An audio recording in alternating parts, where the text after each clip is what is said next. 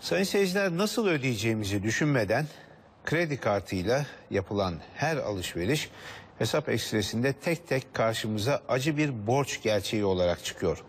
Gelirin üzerinde harcama yapıldığında borç sarmalına düşenler bir anda kendilerini depresyonda bulabiliyor.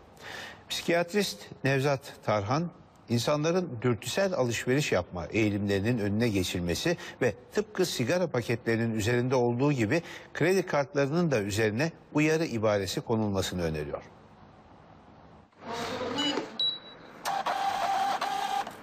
Kredi kartınız var mı?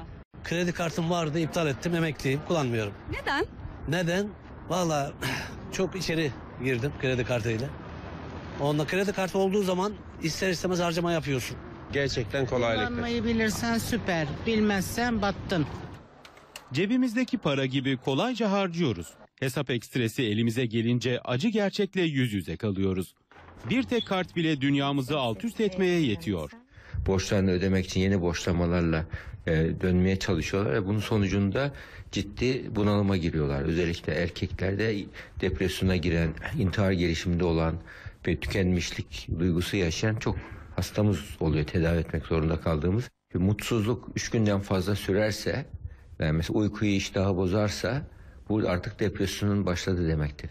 Kredi kartı hayatımıza gireli çok uzun zaman oldu. Özellikle alışveriş yaparken uzun vadeye yayılan taksit seçenekleri daha cazip hale getiriyor. Kimi zamanda nakit çekimi için kredi kartını kullanıyoruz. Fakat önemli olan kredi kartını kullanırken ayağımızı yorganımıza göre uzatmak. Nakit çekiminde kullanırken kredi kartını sanki hiç ödemeyecekmişiz gibi geliyor. Fakat ayağımızı yorganımıza göre uzatmadığımızda hesap ekstresi elimize geldiğinde işte o zaman da korkulu rüyalar görmeye başlıyoruz. Evet, o girdaba girenler var. Ne yapıyorlar? Nasıl strese giriyorlar? Yani uyuyamıyorlar, şey yapamıyorlar. Yani o, o şekilde, o şekilde bayağı bir giriyor, bayağı bir geriyor. Gördüğüm aile boşanmalarına kadar gittiğini biliyorum. Ben yani 500 milyon benim şeyim limitim. Yani korkuyorum harcamaya. Ya geçersem? Geçersem nasıl ödeyeceğim diye. Psikiyatrist Profesör Doktor Nevzat Tarhan, kredi kartlarının üzerine sigara paketlerinde olduğu gibi uyarıcı bir ibare konulması önerisinde bulundu. kredi kartı ile alışveriş yaparken kişinin dürtüsel alışverişini önlemek için o kişiye dur düşün yap dedirtebilecek bir ibare yazılır sigarada olduğu gibi. O anda bu e, karar verirken çünkü insan anlık kararlar veriyor. Anlık tercihler ter- tercihlerle oluşuyor hayatımız. Burada bu- bu para değil kolaylıktır gibi bir söz yazılsa yani bu yani bunu alışveriş yaparken ölçüyü kaçırma. Bu dürtüsel alışverişi nasıl dürtüsel sigara kullanımını önlüyorsak yazılarla burada da dürtüsel alışverişi bunu önleyebileceğini düşünüyorum. Bir haftada limiti bitirdiğim bile oldu.